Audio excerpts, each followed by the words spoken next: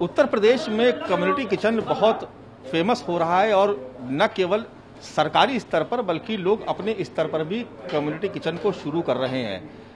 उत्तर प्रदेश में और ख़ास तौर से लखनऊ और आसपास के इलाकों में बड़ी तादाद में लोग जो बाहर से आए थे, उनको अलग अलग सेंटर्स पर उनको क्वारंटाइन किया गया है।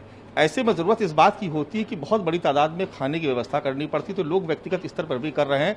बहुत सारे लोगों ने इसको शुरू किया। हम इस वक्त जहाँ मौजूद हैं ये एक कम्युनिटी किचन है और ये उत्तर प्रदेश के डिप्टी सीएम केशव प्रसाद मौर्य जी इसको चलवाते हैं। और यहाँ पर आप देख रहे हैं कि भोजन की व्यवस्था की जा रही है इस तरीके से। ये यहाँ पर इस वक्त लंच का समय है तो लंच पैक तैयार कराया जा रहा है। कुछ लोग भी आए हुए जी आप कहाँ से आए हुए? क्या नाम है आपका? आ, मैं विपुल तिवारी माननीय उत्तर प्रदेश के उप मुख्यमंत्री श्री केशव प्रसाद मौर्य जी के निर्देशन निर्देशन हम लोग गरीबों को सुबह के नाश्ते दिन का भोजन और शाम की चाय सबसे सर्वदा आपको बताना चाहेंगे कि सुबह के नाश्ते में हम लोग ब्रेड मक्खन दे रहे हैं और कभी कभार हम लोग पूरी सब्ज़ी दे दे रहे हैं और दिन के भोजन में हम लोग कभी दाल रोटी दाल रोटी सब्ज़ी दे दे रहे हैं, कभी तहरी दे दे रहे हैं। और शाम के वक्त हम लोग चाय पकौड़ी, समोसा चाय और ब्रेड पकौड़ा का इंतज़ाम जो है उत्तर प्रदेश के उप मुख्यमंत्री माननीय श्री कृष्ण मौर्य जी के निर्देशानुसार हम लोग पूरा करने का संकल्प ले रहे हैं। जैसा कि माननीय प्रधानमंत्री मोदी ने संकल्प लिया है कि कोई भी गरीब इस महामारी के दौरान कोई भूखा ना मरे और कोई भूखा ना रहे। इस संकल्प को हम लोग जल्द से जल्द पूरा करने की कोशिश कर रहे हैं। ये बेसिकली मुख्यतः ये एक बहुत यहाँ का बड़ा मशहूर एक रेस्तरा रहा है और यहाँ पर इसको फ़िलहाल कम्युनिटी किचन में इसको तब्दील कर दिया गया है। तो ये अलग अलग व्यवस्था यहाँ पर की गई। आप देख रहे हैं किस तरीके से जो है फ़िलहाल लंच पैक तैयार हो रहे हैं और उधर खाना भी बनाया जा रहा है। जो यहाँ के शेफ हैं उनसे बात कर लेते हैं कि ये बताइए जी सर। कि क्या आपका मीनू में रहता है जो आप लोग भोजन करवाते हैं, जो लोगों को, सड़क किनारे जो लोगों को तो क्या उसका मीनू डिसाइड किया आप लोगों ने? जी, सुबह के टाइम कचौड़ी, पूड़ी, छोले, आलू ये देते हैं, पोहा भी देते हैं और ब्रेड ब्रेड, ऑमलेट भी देते हैं। फिर दोपहर में तहरी बन जाती है, तहरी बांटने में आसानी हो जाती है। फिर छोले, चावल भी होते हैं। फिर शाम को कुछ पकौड़े, वकौड़े बांट देते हैं। फिर रात में भी चावल, दाल बनाते हैं। वही मात्रा में हम यहाँ पर जो जोड़ी जो की जुबली है और जो आ रहे हैं सफ़र से यहाँ से निकलते हैं उनको देते हैं। मतलब चार बार खाना आप लोग देते हैं सुबह की सुबह ब्रेकफास्ट फिर लंच डिनर और थोड़ा सा हाईटी में थोड़े से लोगों को जो यहाँ पर रास्ते में चलते हैं उनको दे देते हैं। जैसे जो रोड रोड पे साइकिल से जा रहे हैं या पैदल जा रहे हैं उनको दे देते हैं।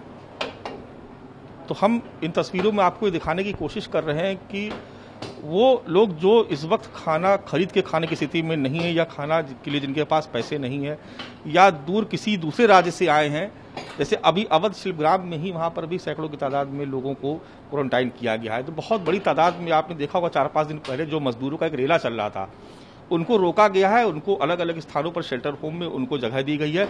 अब सवाल ये उठता कि उनको भोजन कहाँ से मिले, इसलिए ये पहल की गई है। ये उत्तर प्रदेश के डिप्टी सीएम केशव प्रसाद मौर्य का ये कम्युनिटी किचन आप देख रहे हैं कि ये यहाँ पर उनकी तरफ़ से व्यवस्था की गई है।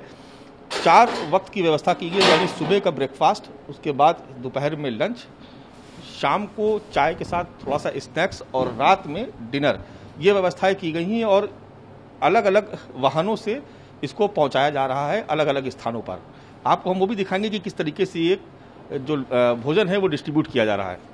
लंच पैक या डिनर पैक ही नहीं तैयार किए जा रहे हैं। कुछ और भी तस्वीरें हम आपको दिखा रहे हैं कि इस तरीके से जो कच्चा जो राशन है, वो भी पहुँचाया जा रहा है, जिसमें अलग अलग तरीके की ज़रूरत के सामान है, जो एक व्यक्ति के परिवार में इस्तेमाल होता है, जिसमें दाल भी है, चावल भी है, और बहुत सारे दूसरे भी इसमें सामान है, खाद्य उत्पाद हैं। हम देखेंगे कि इसमें क्या क्या है। ये देखिए कुछ और भी तस्वीर आपको दिखाएँगे हम आपको। ये आप ये देखिए ये इसमें एक से चावल है इसमें आटा है। आटा है। नमक है। सब्ज़ी है। दाल है। सब्ज़ी बदलती रहती है। आलू तो रहता ही है साथ में कभी कुछ तेल है। सॉरी उठा दो। ये मसाले हैं। तो कभी चीनी वगैरह भी रहती है कभी कुछ।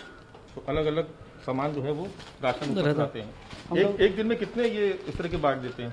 तो सब मिला करके पाँच हज़ार के आसपास। कम से कम पाँच हज़ार टारगेट है प्लस ही हो जाता है। तो आप देख रहे हैं कि ये देखिए ये आप देख रहे हैं कि ये बंटवाया जा रहा है। इसमें प्रधानमंत्री नरेंद्र मोदी का चित्र लगा हुआ है डिप्टी सीएम केशव प्रसाद मौर्य का चित्र लगा हुआ है। और खाना बांटने के साथ ये भी समझाया जा रहा है लोगों को कि कोई भी रोड पर ना निकले। कोरोना जो जैसा कि प्रधानमंत्री ने अपने उद्बोधन में कहा था कि कोई रोड पर ना निकले तो वो कोरोना का इस पर स्टिकर भी लगा हुआ है और जो वॉल्टियर्स हैं, वो ये जाकर कहते हैं कि आपको जो भी ज़रूरत हो, आप हमको कॉल करिए, हम आपके घर तक सामान पहुँचा देंगे या खाना अगर उनको चाहिए तो खाना पहुँचा देंगे, अगर उनको खाद्य सामग्री चाहिए तो वो भी पहुँचा देंगे, लेकिन कोई रोड पर ना निकले, ये अपील की जा रही है। कैमरा पर्सन धर्मेंद्र कुमार साहू के साथ मानव श्रीवास्तव, लखनऊ न्यूज़ ट्वेंटी